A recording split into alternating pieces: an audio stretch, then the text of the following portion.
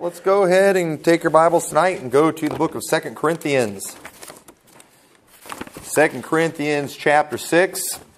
And let's start reading in verse 14. It says, Be ye not unequally yoked together with unbelievers, for what fellowship hath righteousness with unrighteousness? And what communion hath light with darkness? And what concord hath Christ with Belial? Or what part hath he that believeth with an infidel? And what agreement hath the temple of God with idols?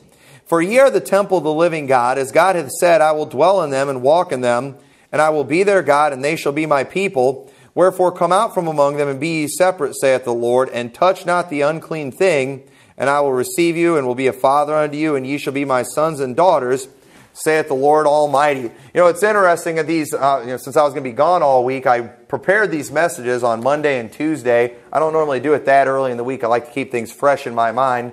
But it was like the Lord wanted to help me out, and so He kind of like threw me in situations this week to just kind of remind me of what I was going to be preaching about. Just kind of keep it fresh and, and keep it in my heart. And you know, when I and when you, uh, you read this passage here, and I was thinking about this um, um, when I was well, yeah, just yesterday. It feels weird. I was in Arizona yesterday, but when I when we were in Arizona, we were out soul winning. We knocked on the one door, and this uh, a Chinese fellow came to the door, and we invited him to church. And he's like, "Oh, he's like, he's like, I have a I have a temple in my house," and he's like, "You want to come in and see it?" And you know, and it, when a guy asks you to come in your house to see his temple, you have to go look. I, I know I was supposed to be soul winning, but I was like, I, I got to see this. We went in there, and he had like this one of these divider things in there, and he like slid it back, and he had all this, you know, look, it looked like full blown Buddhism.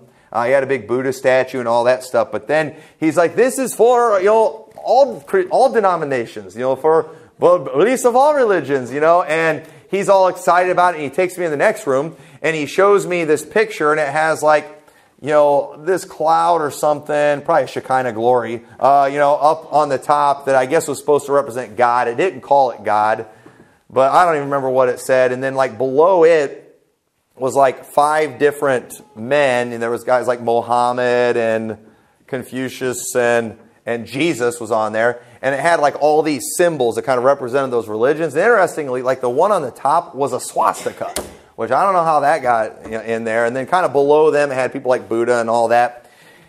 And it just made me mad seeing Jesus with all those other people. You know, I'm fine with all the other religions acting like they're fine. You know, the stupid coexist bumper sticker that I hate. I wish they'd take the cross off of it, all right? And he's, he's explaining how, it, you know, they're all the same. And I was like, well, you know, they're not the same.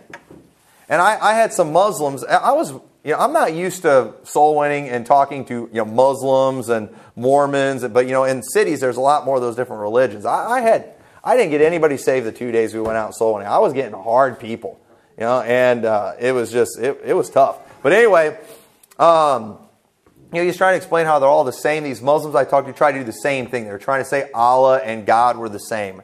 And whenever I hear that kind of stuff, I always make sure when I'm presenting the gospel to people like that to show how no, there is a difference between Jesus and all other gods. I always, I always make a huge deal about that. And I told him, I said, listen, I said, I agree with you. Allah did not have a son. But God does have a son, and his name's Jesus Christ. And I and I told him too. I told the Chinese guy, you know, all these other gods are basically said, except for that one you have on there. And I, and I told him, I said, you really should probably take him off of there because of the fact that he said, you're saying these are all based on, but he said, I am the only way to God. He's like, he never said that. Jesus never said he's the only way. And I was like, yeah, John 14, 6, he said, I am the way, the truth, and the life. No man cometh unto the Father but by me. No, that was only for that time. For that time. And in different times and in different parts of the world, you know, different ways. And I, I said, no, it says Jesus died for the sins of the whole world. For God so loved the world that he gave his only begotten son. You know, and I was trying to show him, no, it's Jesus only. And you got all these religions, they're fine with accepting Jesus as long as you're allowed to accept everything else too. I said, no, you can't, you can't do that. And, you know, we didn't get anywhere with them, but I did. I was like, I want you to get our message. And our message is that it's only Jesus. And He is the only way to heaven. You can't use Jesus and all the other gods, it, it just doesn't work. And What I want to talk about tonight is separation. Okay? And I want to talk about embracing separation because people don't like that. No, I like the idea of all gods being the same. Let's all just be one. But that is not what God has called us to do. We see where He said, Come out from among them and be ye separate, saith the Lord. You know, what agreement hath the temple of God with idols? You know what He's doing? He's saying, you know, there's some things that don't go together. And Jesus Christ and all other gods, they do not go together. And us, as peop- the people of God, us who are in Christ, we are a separate people. We are not one with the rest of the world. We do not fit in with all other religions. And you know, whenever the Pope was here in America and he was having that like all faiths meeting and stuff, you know what? I didn't see any fundamental Baptists up there. And I'm glad I didn't see any fundamental Baptists up there. Because we don't belong up there. But what bothered me is people who supposedly represented Christians. You know, evangelical Christians, you know, and they try to group us in there. Let me tell you, I had no representative at that thing. And I'm fine. I, am fine with all the other religions want to get together. That's fine. But I wish they leave anything that represents Jesus out of it. You know, and you know, the thing, if, if they ever did that, if they ever had some big get together and some big religious thing, and they invited all the religions except Christians, you know, most Christians are so stupid they would get offended by that and they would throw a big fit about that. But you know what? I say, wonderful. That's exactly the way it should be because there is a difference between us and all the rest of them. I remember listening to Christians, Mike Huckabee, all right? Mike, I'm sorry, Mike Huckabee, he needs to stick to politics and stay out of religion. And I, he needs to keep his religion out of politics because his religion's messed up. And he tries to act like he represents Christians and Baptists. And he threw a big, huge fit, and he was trying to uh, influenced people into going and downloading some song. I forgot what it's called, but it was a Christian song. It was on a Christian movie, and it was a big hit. And it didn't get any nominations. It got dissed or ignored at one of the, like, I don't know if it was Emmys or one of these music award things for TV shows. And I remember thinking, listen, if it's a Christian song, if the person who wrote it is a Christian, why in the world would they want to be recognized at the Emmys? Do you know how wicked everything is that's involved? I don't know if it's the Emmys or one of the music awards. I don't know what they're all called. But listen, why would we want to be represented there? There is a huge difference between the rest of the world and Christians, or at least are supposed to be. But yet we have all these Christians and so-called, you know, Christians like Mike Huckabee trying to make sure we're represented in wicked wicked things. Why would we want to have any part in that? I don't want to have any part in that. I don't want those people on me. They shouldn't like anything that I put out. But that, that's the mentality today. And Christians are falling for it. And separation, while not a popular subject, it's a biblical thing. It's very biblical. And it's also necessary if we're going to be a victorious Christian. And for some reason, Christians today, you know, it's like, what can we do to blend in with the world? Yeah, and it's like we forgot that the one we serve is the creator of the universe. You know, the King of Kings and Lord of Lords. We forget that one day He's going to rule and reign on earth. And you know what? The world's not going to like it. And we have an opportunity to prove now that we love Him. But in, and instead of running from separation, I believe as Christians, we ought to embrace separation. We ought to be thrilled at an opportunity to really set out, you know, set ourselves apart from the world. And it's amazing too, because Christians, they are, you know, liberal Christians today, they're always talking about, you know, wanting to make a difference and wanting to stand out in the community. Well, let me ask you this. Why do, why do we try to stand out in the community? By doing everything that everybody else in the community does. Why do we try, why is it that they try to stand out in the community by looking in the community? We, I was talking with Brother Jerry about it, that most churches today, their ministry, as they call it, or their outreach, is identical to what Walmart does. Okay, where I work out at the distribution center, they do all these community involvement things. They have all these programs they do that is identical to what I hear a lot of these churches doing. Their little trunk or treat thing. You know how many churches do trunk or treat? Okay, now listen, if Walmart wants to do that, I don't blame them. Okay? Yeah, they're going to want to do that because then people are going to need to go buy candy from Walmart. You know? They're trying to sell merchandise. I expect them to do that, but why would a church do that? You know, encourage kids to go out and buy costumes. I get why Walmart does it because they sell costumes. You know, I understand why they want to do all these things to get their name out, out there. It's called advertisement. And listen, not all advertisements bad, okay? Mar- not all marketing is bad. Even for a church to do some marketing, it's not necessarily a bad thing, but don't call it ministry.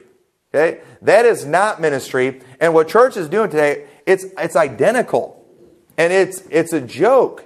And they do they th- it's like we've got to find some way to fit in with them.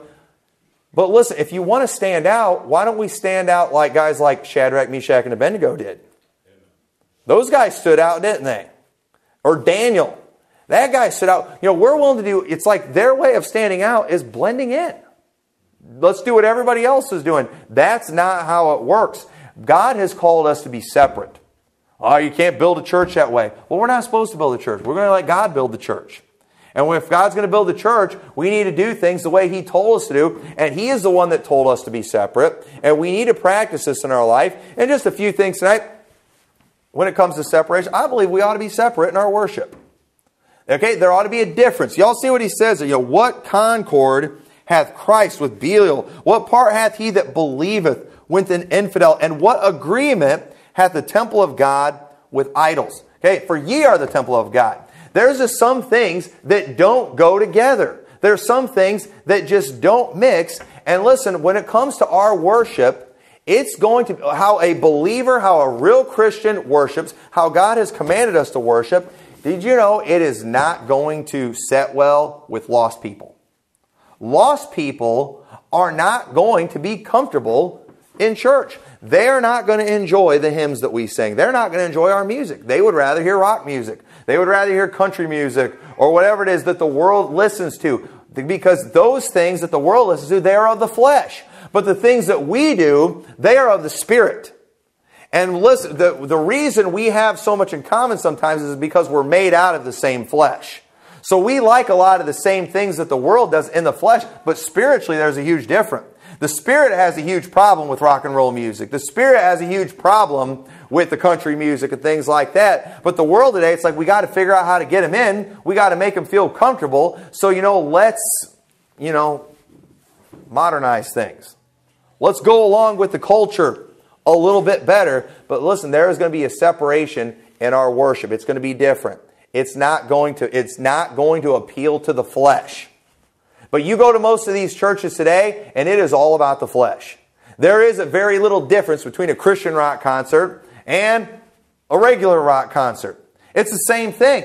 And it appeal, appeals to the flesh, and that's what these people are going for. But there is, there's a difference. Our worship should be different. You know why? Because our God is different. Our God is not like all other gods. We see in Exodus chapter 20, and it was given the first Ten Commandments, Thou shalt have no other gods before me. He comes first. Thou shalt not make unto thee any graven image. You know, thou shalt not take the name of the Lord thy God in vain. It's things about God. Our God is different from all other gods. He's above all other gods. He is the only God we should worship. You know, most other gods, according to their religions, it's okay to worship multiple gods. Not with our God. Our God's not willing to share in worship. Okay? Jesus Christ would not want to be in that picture with all those other men. Because why? Because he's separate, he's different. He is the Son of God. He is the only begotten Son of God. He is the only way to heaven. He said, I'm the only way. He said, and he, you know what, one of the things that Chinese guy said to me too? And I'm not being racist calling him Chinese. He's actually Chinese, speaks Chinese, doesn't speak a lot of English, all right? So I know, you know, don't look at me like I'm racist. You know, you know what he said? He said, these are all doors. That's what he said. These are all doors. These are, it's a, he said, it's a narrow gate. That's what he said. They're all, he's using all these terms. I said, listen, Jesus, Jesus said, I am the door. Okay? And then he went into the whole, it's different. No, no, at that time, at that place, you know, you know, he, he, he just, he wasn't getting it. All right? He, he, he, wasn't, he wasn't seeing it. But listen, there is, there's different. Our God, one God is not as good as another.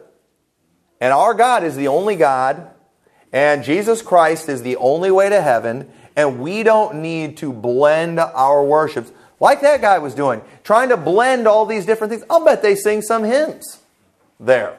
I wouldn't be surprised. My wife had a family member that visited the church here, and he was telling me about this church he goes to. Where's the church? Oh, it's great. All faiths can come together. He's like, we have Christians, we have Muslims, we have Jews. And I'm like, that does not work.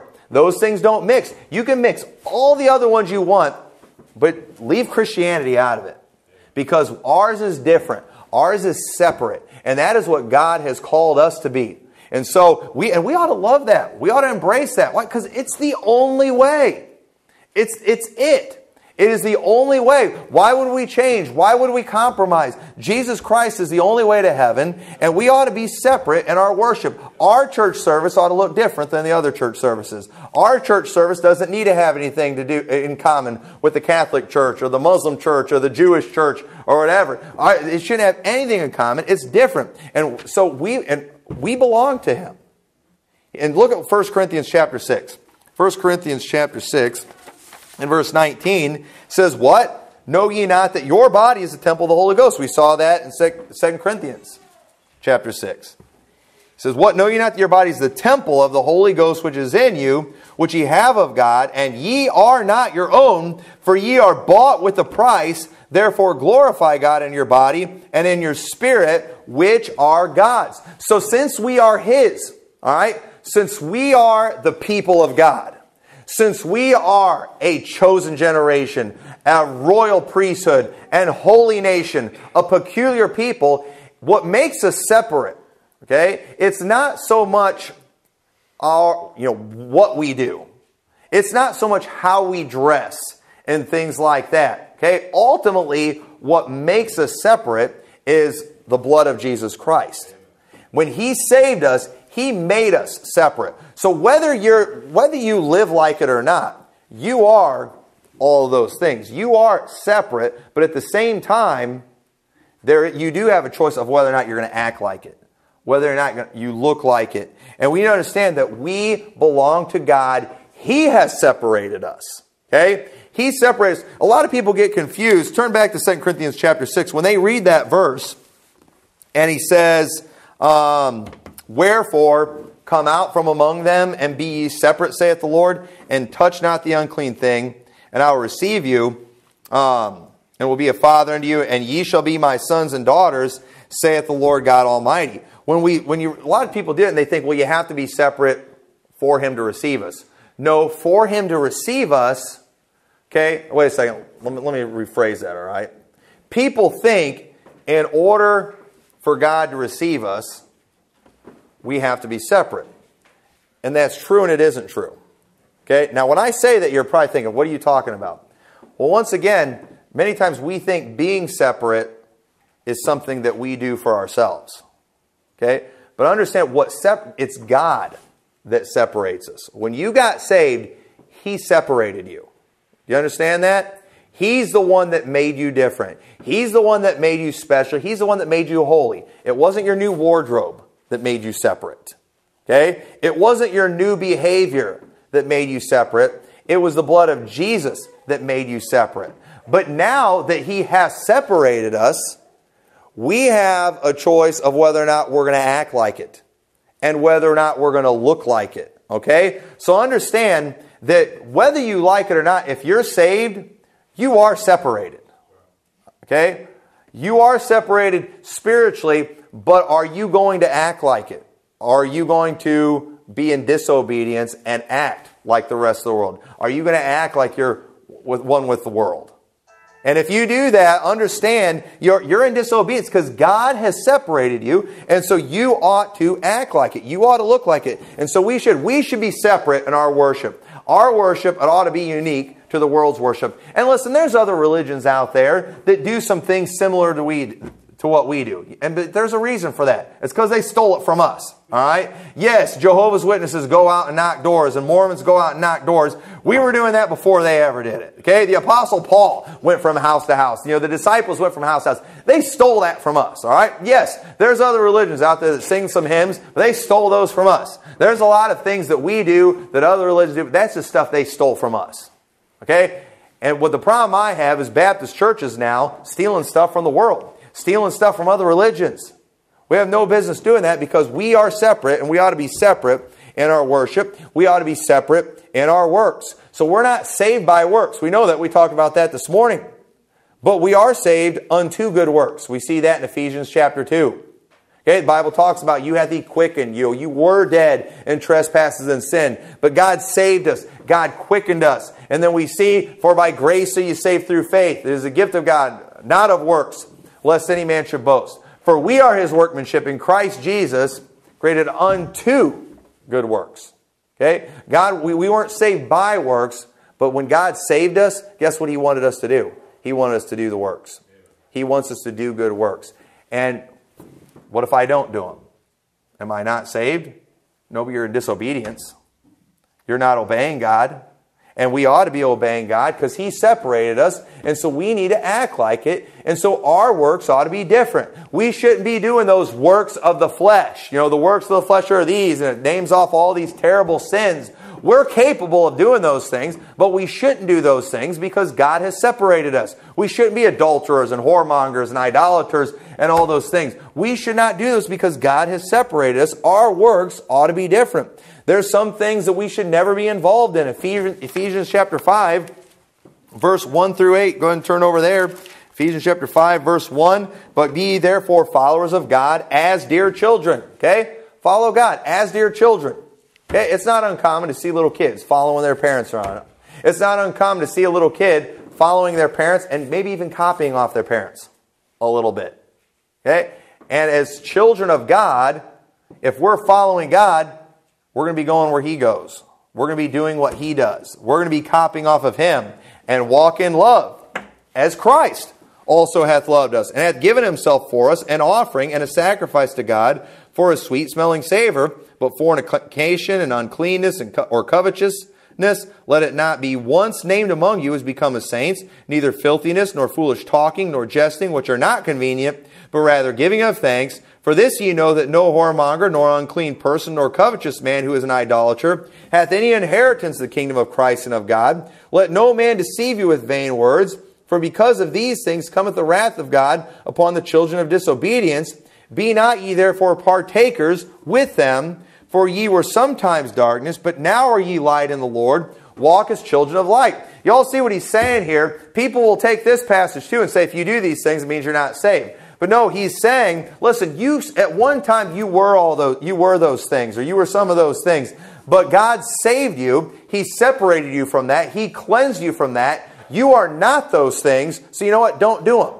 He's not saying you're not capable of doing them. He's not saying that you know a saved person is not uh, would never would do them. We're capable of just about anything because we're made out of the same flesh the world is. But because of the fact that we have been saved and God has separated us, we are not those things. And that's why, too, you know, when the Bible talks about the unbelieving and abominable and uh, sorcerers and idolaters and all liars, okay? Well, what if a Christian tells a lie? Is a Christian capable of telling a lie? Absolutely. Well, then we're liars, right? No, we're not because the blood of Christ has cleansed us. So if we're not a liar, what are we doing lying? You know what we're doing? That's called getting in the flesh. That's called disobedience. And because God has separated us and made us different, we need to act like it. And so there are just some things that we just should not do. That God has said, no, you are not going to do those things. I gave the illustration last week with my kids. You know, my kids, there's certain things. No, you're not going to do that. You are a McMurtry. Yeah, but what if, you know, the Smiths, they're doing it? Well, you know, we're made out of the same flesh the Smiths are. You know, I'm not saying a McMurtry's not capable of it, but I'm saying as a McMurtry, we're going to be different. That's not what we do. And God, his, we, have, we have the name of God. He has adopted us. We are in His family. And therefore, there are some things that we should just never do. And if we do, we're in disobedience. And God has separated us. And so there ought to be a, a difference. And there ought to be, we ought to be separate in our works. And then we ought to be separate in our words. Okay? Look at Colossians chapter 3. Colossians chapter 3 verse 1 says, Paul, an apostle of Jesus Christ by the will of God, and Timotheus our brother, to the saints and faithful brethren in Christ who are at Colossae, grace be unto you, and peace from God our Father and the Lord Jesus Christ. We give thanks to God and the Father of our Lord Jesus Christ. Wait, I'm in chapter 1. Why am I reading chapter 1? I said chapter 3, didn't I? I was like, that's not what I was looking for. If ye be, verse 1, if ye then be risen with Christ, seek those things which are above, where Christ sitteth on the right hand of God. Set your affection on things above, not on things on the earth. For ye are dead, and your life is hid with Christ in God. When Christ, who is our life, shall appear, then shall we also appear with him in glory. Mortify therefore your members, which are upon the earth fornication, uncleanness, inordinate affection, evil concupiscence, and covetousness, which is idolatry, for which things sake the wrath of God cometh upon the children of disobedience, in the which ye also walked some, uh, some time when ye lived in them. But now ye also put off all these anger, wrath, malice, blasphemy, filthy communication out of your mouth.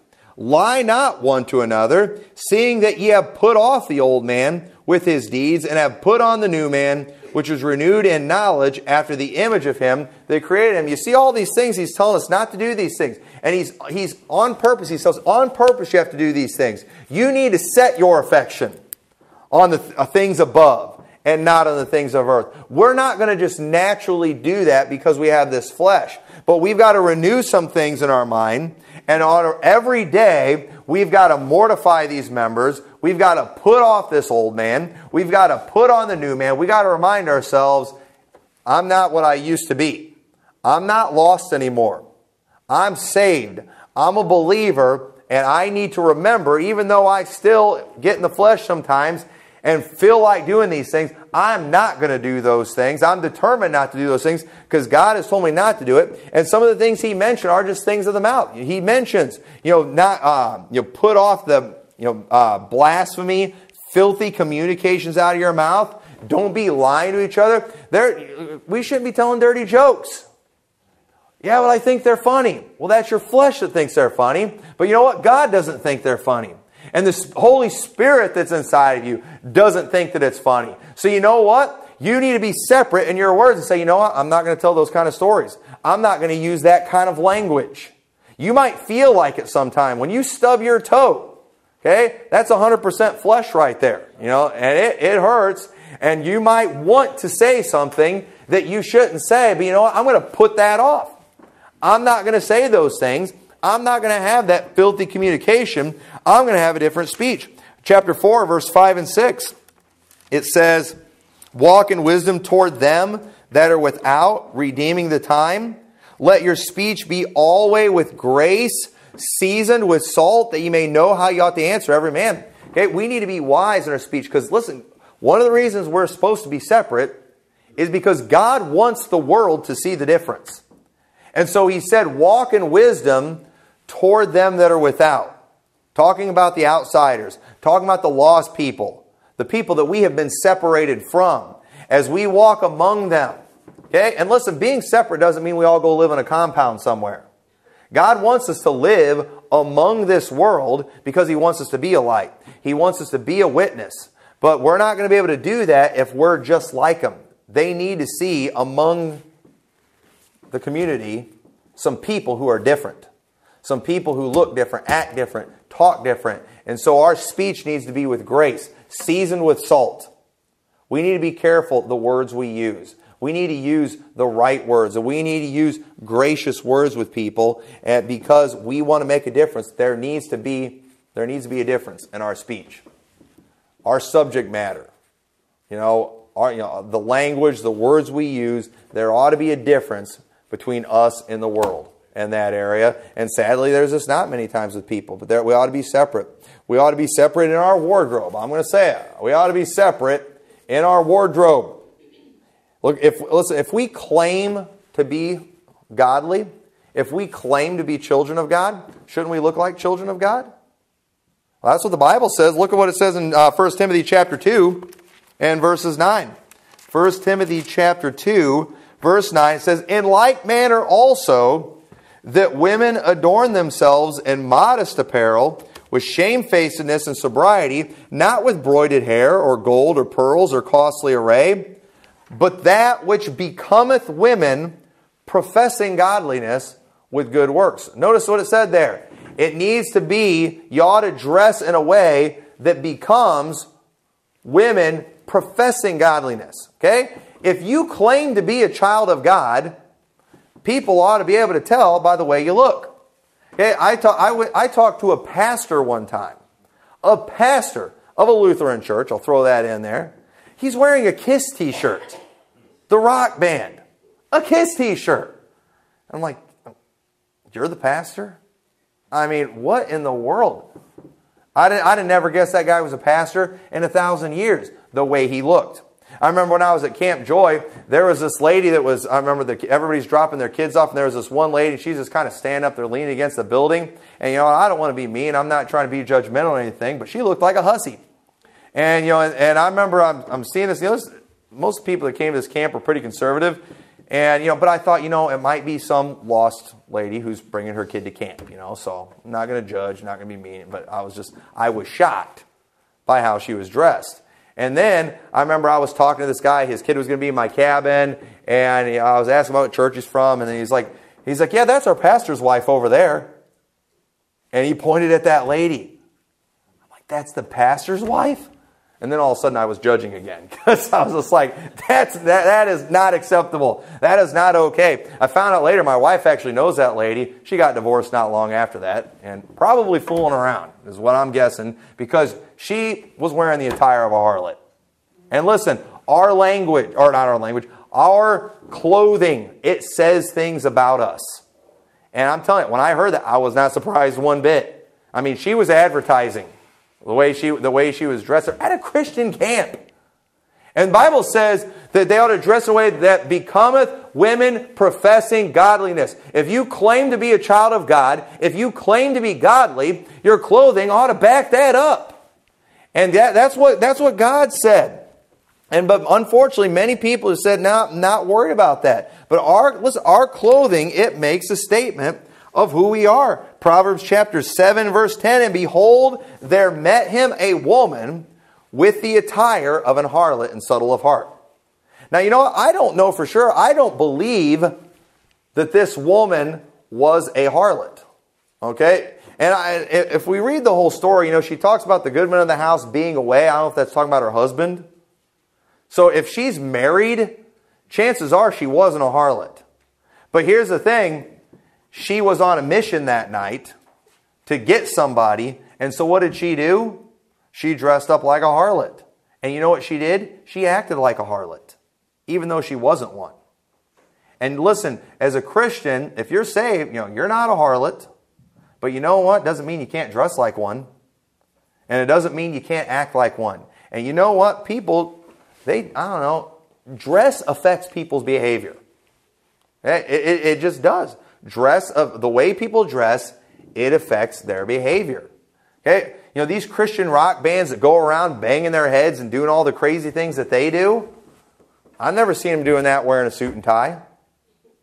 Okay? Now, I will say in the Southern Gospel crowd, they will wear suit and ties and you'll see them do some pretty weird dance moves and things. However, there is a difference. Their suit and tie does not look like mine. Their suit and tie, they, you know, they didn't come from Walmart or you know Sears. Anything. They always got the flashy, shiny, you know, suits and ties. There's a huge, so there's a difference. Yeah, the Southern Gospel crowd might be an exception with the fact they're wearing suit and ties, but it's not like this suit and tie. All right, it's not like you know your typical Baptist preacher uh, would would wear in church. But listen, it, your clothing it speaks a lot of things. And I'm not saying that I don't believe we ought to do things to purposefully stand out. Okay? For example, I don't think we all need to go Amish. Okay? I think that's immodest. You know why? Because that's drawing attention to yourself. I don't think we ought to try to draw attention to ourselves, but at the same time, you know, just dressing modest, it, it'll people are going to notice. You know, people notice when you got a big family and the girls are all wearing skirts and things like that you know, they notice, but at the same time, you know, we don't want to be noticed in a bad way, and we're not we're not doing things to try to be noticed. Okay, it's just it's just noticeable because our society is just so dirty. Okay, and I, I don't believe we ought to be seeking to get attention with our clothing, but our clothing should become what we profess. And if we pro- profess to be children of God, we ought to look like it. And we shouldn't be looking like the world If I claim to be a man, I ought to look like a man. I don't need to be wearing a queering. I don't need to be, you know, wearing f- female clothes and things like that. I, I have no business doing that. I'm a man. If you're a lady, you don't need to be looking like a man. You don't be wearing men's garments. You know, a woman shall not wear that which pertaineth to a man, neither shall a man put on a woman's garment, for all that do so are an abomination. It is not abomination. They that do it are the abomination. That's what the Bible teaches. There ought to be, I mean, we believe, I mean, do we at least believe in separation in clothing for men and women? I'd like we at least get Christians agreeing on that, but you know what? There's not, they're not, that's not even going on in most churches today. And there ought to be a difference. And so, because, because we are different, we are something else. Uh, God saved us, we are His children, and there ought to be a difference. And so, you know, um, you know, our clothing, it, it is, it's a testimony to others. If you, we're not going to take time to read. If you read 1 Kings chapter 10, when the Queen of Sheba came through, she's noticing all these things about the congregation. One of the things she mentioned was their apparel. You know, I don't know for sure what they were wearing, but it, it she noticed it and it spoke to her, and she was overwhelmed by the things that she saw in, in Solomon's kingdom. And I, I believe that people ought to, they ought to see a difference. They ought, they're, they're, it ought to be clear in this church who the men are and who the women are, whether you're in church or not in church. And we need to make and we need to make sure that we practice these things because God has separated us. And so if you are not separate in how you dress, you are in disobedience because you're already separated. God separated you, and you better you need to act like it and you need to look like it. And Christians, we have we have no business. There's no reason for us to try to blend in with the world. Uh, uh, Zephaniah 1 8 says, And it shall come to pass in the day of the Lord's sacrifice that I will punish the princes and the king's children and such as are clothed with strange apparel. Okay, what was that talking about? Well, you know, Israel, they were, you know, I, I don't see in the Bible where God gave specifics on how the children of Israel should dress. Okay, as far as, you know, what exactly did their clothes look like? We don't know. We know the men were supposed to dress like men and the women were supposed to dress like women. But he mentions their strange apparel that they were clothed in. What does that mean? That means strange often means foreign. They were looking like the heathen. They dressed the way the world dressed. And listen, there ought to be a difference between us and the world. Okay, there are some things, you know, I can't show you in the Bible where certain things are sins. Okay, but I don't know. What, what's a fad that everybody's doing today in clothing? All right, what's what's I don't notice these fashion things and stuff, but I don't know. Skinny jeans have got to be bad. Yeah, yoga pants, that's immodest. No, skinny jeans, yoga pants. I'm sorry, those are sins. Uh, you know, th- there's some things. You know, there are some clothing things you can do that aren't technically a sin, but they can be a sin because of what it represents.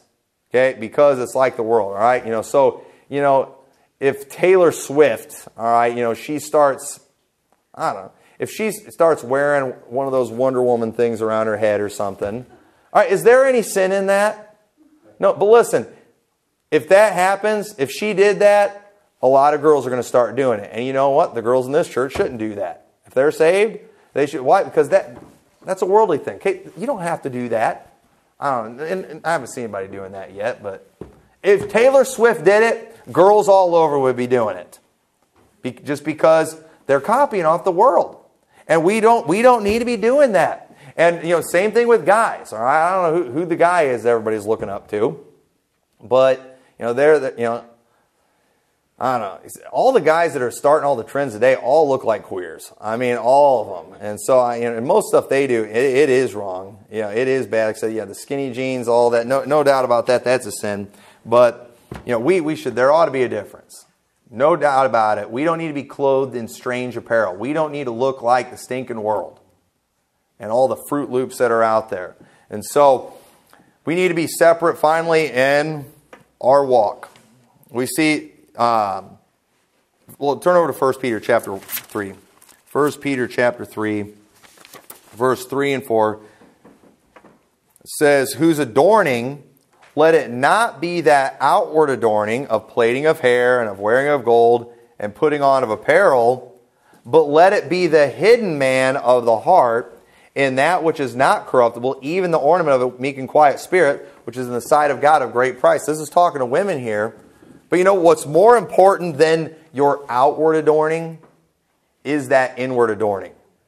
That you have what it mentions here, you know, the meek and the quiet spirit. And we need to understand that there are, you know, we ought to have a good spirit.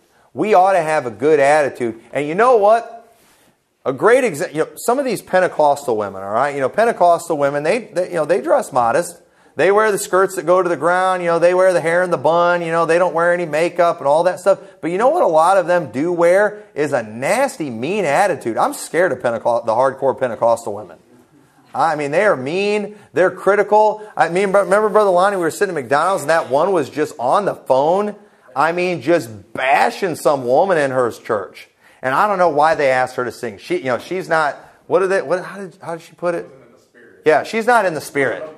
Yeah, when she when she sings, it's not of the spirit. And you know, they should have this other woman sing. When she sings, it's of the spirit. And then she, she's dressed up as modest as all get out. Any Baptist preacher would be proud to have a woman that was dressed like that in their church. But let me tell you, she was warning that the attire of an old bag when it came to her spirit. I mean, and she was, she was mean, just nasty. And I've known some women like that in Baptist churches. Sometimes the most modest women in the Baptist churches are the most critical ones, the most mean spirited ones, the biggest gossips. And so, you know what? Great. I'm glad you got the outward adorning down. But you know what? It's time to put on a new personality. And we need to make sure that we do, that we, that we, there's a difference in our personality, that there's a difference in our spirit. And a lot of people, they got all the outward stuff down. They got the separation down when it comes to the outward stuff, but when it comes to the inward things, they haven't changed a thing. They are mean, they are nasty, they are ugly.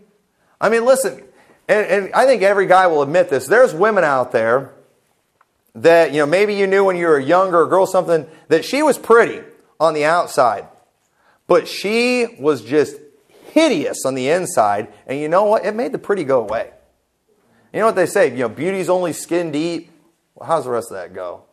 Uh, but ugly's to the bone or something like that. I can't, I can't remember. But let me tell you, there are and that that pretty girl that's just nasty on the inside. Let me tell you, she's going to age. She's going to change physically. But that ugly nastiness that's inside, it doesn't go away all the time once they get saved. And you better watch out for that stuff. You better watch out for that people. And I do. I believe more important than separation on the outside is that separation on the inside. I believe we ought to have that. Okay, and I'm and don't come at me with, well, you know, a lot of the people too who aren't separated on the outside. Well, you know, it's the inside that counts. God sees the heart. Okay, but listen, man can't see the heart. Man can only see the outside. And just because you're so stinking holy on the inside doesn't give you an excuse to be unholy on the outside. Okay? And listen, if you're holy on the inside, you're going to be holy on the outside too. But understand, many people today, they think because they've got the outward adorning all down that they're covered. But listen, if you are, if you are that nasty old Pentecostal lady just bad mouthing people in their church, I'm sorry, you are not separate in your walk. And that is important. And that is a big deal. And listen, a true walk with God is what God wants most. Enoch, that's what he was doing. Enoch walked with God. Enoch, he had this testimony that he pleased God. And that's what it says in Hebrews chapter 11. What do we know about Enoch? Enoch walked with God. And that's what God wants. God wants us to have a walk with him. God wants us to have a spirit that's like his spirit and it ought to be different. Listen, there's a spirit of this world. There's a spirit of fear. There's, there's, there's all kinds of evil spirits that are out there. And I'm not talking about, you know, the demons and things, but evil spirits that come from man. Evil ones. And listen, as believers, we have the Spirit of God. And if we get in the flesh, okay, if we get in the flesh, we can start acting like those evil spirits. But if we're walking in the Spirit, we're going to have the same Spirit of God. We're going to act like God. We're going to have the same attitude as God. And that's what we ought to have. And let, somehow Christians today, they've got this misguided idea that in order to win the world, we've just got to be one of them. But the, the only problem with that is if we are one of them, if we impress them, if we make them think, you know, we're ju- these people are just like me, well, then what are they going to need from us? Aren't we trying to offer them something? But if we're just like them, well, I don't need anything from those people. They're just like me. But no, we're supposed we're, we're not supposed to be. You know, the truth is we're not supposed to be different for the world's sake, but we are supposed to be different because we belong to Christ. Okay, don't be different just because well I, I gotta I gotta be separate for the world's sake. You know, I, I don't want to be a bad testimony. That's fine. You know, those are good motivations, but ultimately we ought to want to be different because of who we belong to, because we are Christ, we because we were bought with a uh, bought with a price. And when it comes to separation, I believe we ought to embrace separation. I believe we ought to love separation. Those who are in the military, okay, you know, brother Adam, what branch are you in? Army. You're army, and your wife was the Navy, right? Oh, she was Army too. I thought you guys were in different branches. But you know what? If you probably would, you probably don't buy your son little Navy outfits, do you? No. No. You guys aren't going to do that. And you know what? People who are in the Army, they don't have a problem with people being able to tell they're in the Army. They don't try to, oh, I'm going to go get some Marines pants to put with this in. You, you'd probably get beat up by all your Army buddies if you did something hey man, you're Army. What are you doing wearing Navy pants? You know, why would you do something like that? Eh, but that's the way Christians are today. We can't, why can't we be proud of the fact that, you know, hey, we're in the Lord's army. Why can't we be excited and feel privileged? Hey, I belong to God. I've been bought with a price. I am one of His. And why wouldn't we be proud of the fact that we're different? Why won't we thank God that He separated us and enjoy that and embrace it and love it? I'm glad I go to a church that's not like the other churches because I have a God that's not like all the other gods. I'm glad I can look like one and act like one. God has given me a different spirit. While the rest of the world, while the rest of the people I work with, they're going to have a bad attitude. They're going to be all nasty. I don't have to be like them because I have the Spirit of God and I can have joy even though my boss is an idiot, even though my coworkers are an idiot. And I'm not saying that about mine, but even if that's the case, I can still have joy and I can still have a good attitude. When, my, when our company it makes a bad decision that affects us negatively and everyone's walking around and complaining and moaning and groaning and cussing and whining and complaining, I can be thanking the Lord. You know why? Because I'm different. I've got something inside me. I've got the Holy Spirit inside of me. And you know what? I love it. And I don't want, listen, I don't, I don't, I'm not talking about being arrogant here, but our world is a joke. Okay? And you know what? Our community's a joke. I don't want to fit in. And you listen, I don't fit in. But it's not because of me, it's because of God. He separated me. He saved me. He's given me His Word. I've, I've, been blessed to have been taught the truths of God. I've been blessed to have been grown up in a home that taught separation. And because of those things, not because of me, I am separated. I am different. And I love it. And I want to keep it up. And I enjoy it. I, th- I believe we ought to embrace separation. And when you hear preaching on stuff, you ought to get excited about it, fired up about it, because we, we are different. And thank God for it. And He did that for us. Don't get puffed up by it. God did that for us. And so, with that, let's all stand together.